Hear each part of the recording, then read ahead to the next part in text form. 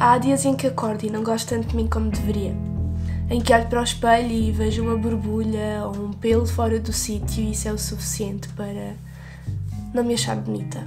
Que olho para mim e a única coisa que consigo ver era tudo o que queria mudar.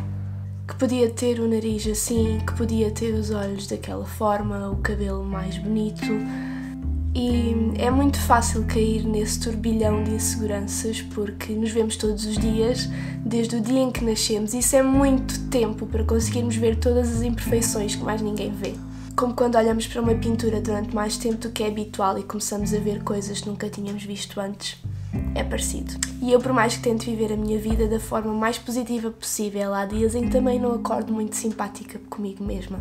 Mas também há dias em que acordo e me aceito, e felizmente esses são bem mais do que os outros. Há dias em que percebo quão mal agradecida sou por tudo o que tenho, e é tanto. Há tanta coisa má no mundo, há tantas pessoas tristes, há tantas doenças graves, e eu aqui, preocupada com uma borbulha, preocupada por ter uns pelinhos a mais em sítios que não quero, e.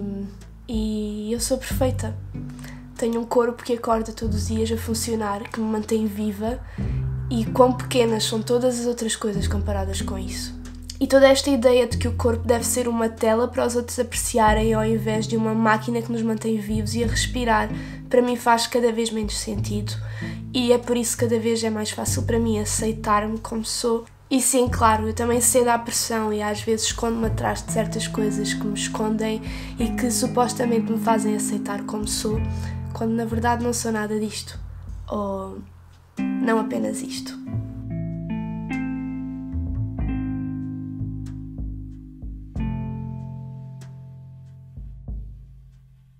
E chegar ao ponto de me libertar de tudo isso e de aceitar todas as minhas imperfeições é libertador. Olhar para mim, acabada de acordar e aceitar o que vejo, não tem preço. Aceitar os meus olhos pequenos e escuros, sem nada de especial, mas que estão lá para o que preciso aceitar as minhas pálpebras escuras, as minhas olheiras e estas veias azuis que estão à superfície da pele. Não adoro, mas também não preciso adorar tudo. Amo as minhas sardas, que são mais a cada dia que passa, e, e gosto de vê-las como se fossem estrelas. Aprendi há muito pouco tempo a gostar do meu nariz, que sempre me pareceu fino demais, pontiagudo demais, principalmente perfil e principalmente quando sorriu está aqui, por mais patético que pareça ter nariz, é uma benção. E sendo sincera, ele não é assim tão feio. Gosto dos meus lábios, que não são nem finos nem grossos, que estão sempre, sempre secos e gretados, mas são meus. Por que não gostar? Mas a verdade é que nem sempre é fácil aceitar tudo e é normal continuar a haver inseguranças.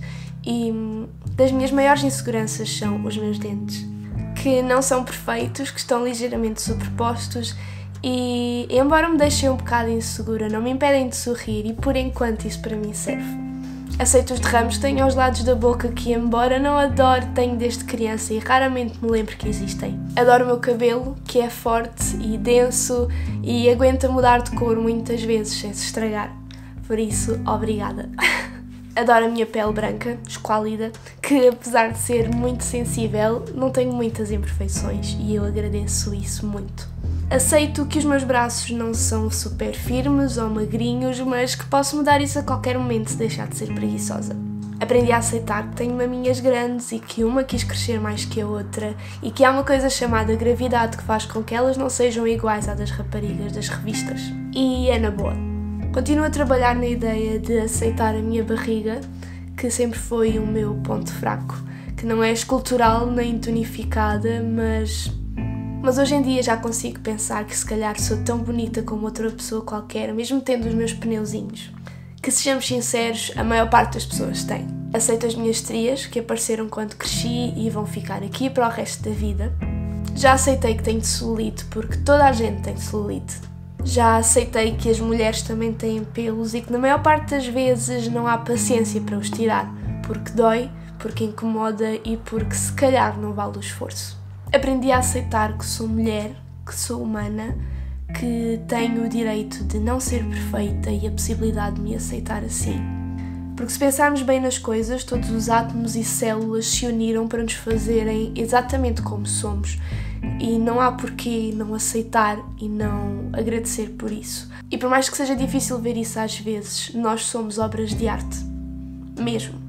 E é muito triste perceber que nós passamos a maior parte do tempo a reclamar do pouco que nos falta e muito pouco tempo a agradecer o muito que temos. Portanto, acho que nos devemos a nós próprios esse esforço. Acho que a vida seria bem mais leve se todos fizéssemos isso.